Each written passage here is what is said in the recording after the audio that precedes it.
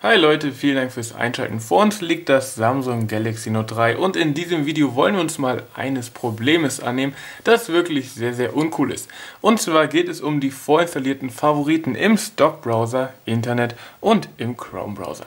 Was heißt das? Wir haben, ich gehe mal kurz ins Internet, dann schauen wir uns das an, hier oben die Möglichkeit, den Verlauf und natürlich die Lesezeichen aufzurufen. Vorinstalliert, das heißt, wenn ihr noch nichts macht, gibt es hier drei. Das Ganze zeige ich euch mal kurz in der Listenansicht, das könnt ihr euch das Ganze durchlesen. Samsung Home, Yahoo und Benutzerhandbuch nehmen Platz weg, stören und sind wirklich nicht so interessant, als dass man sie behalten müsste, also möchte man sie löschen. Dazu gibt es verschiedene Möglichkeiten. Man kann das Ganze einfach festhalten und dann auf Löschen klicken. Dann ist das Ganze auch gut. Allerdings funktioniert das nicht bei allen. Bei Samsung Home beispielsweise gibt es dieses Löschenfenster einfach nicht. Der alternative Weg wäre dann, über Einstellungen bzw. Menü auf Löschen zu klicken, aber auch das ist nicht möglich. Das heißt, Samsung Home und Benutzerhandbuch sind hier und können einfach nicht gelöscht werden. Ärgerlich, extrem uncool. Ich habe mal mit dem Samsung Support telefoniert und auch dort war man ein wenig überrascht und hat gesagt, nö, keine Chance, können wir leider nichts ändern. Das heißt, da müsst ihr euch mit abfinden. Es gibt wenigstens im Chrome Browser eine Lösung. Wenn ihr diesen benutzt und einen neuen Fenster, ein neues Tab öffnen möchtet, habt ihr hier unten ja die Möglichkeit zu den Favoriten zu gehen.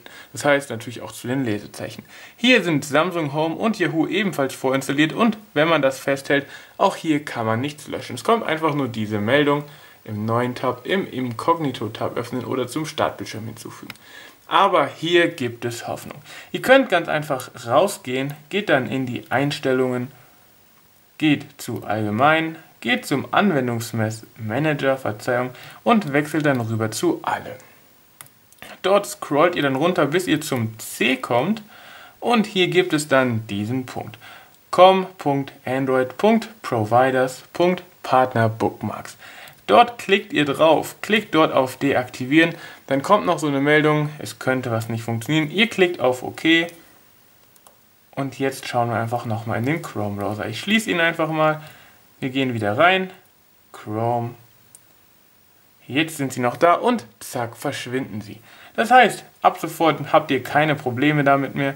Ihr könnt einen neuen Tab öffnen. Und wenn ihr zu den Favoriten bzw. den mobilen Lesezeichen schaut, weg sind sie. Ist ja eine Möglichkeit, das Ganze zu deaktivieren. Ihr könnt sie natürlich wieder aufrufen wenn ihr sie doch mal haben wollt.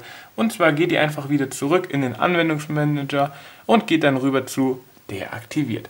Dort könnt ihr das Ganze dann direkt wieder aufrufen, aktivieren und schon hat sich das erledigt. Dann habt ihr sie wieder, warum auch immer ihr sie wieder haben wolltet.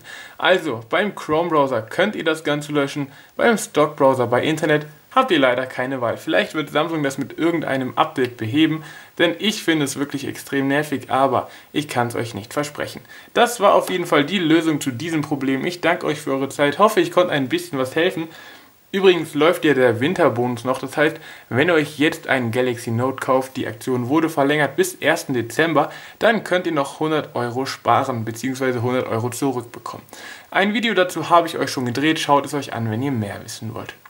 Das war's von mir. Vielen Dank für eure Zeit. Macht's gut. Ciao.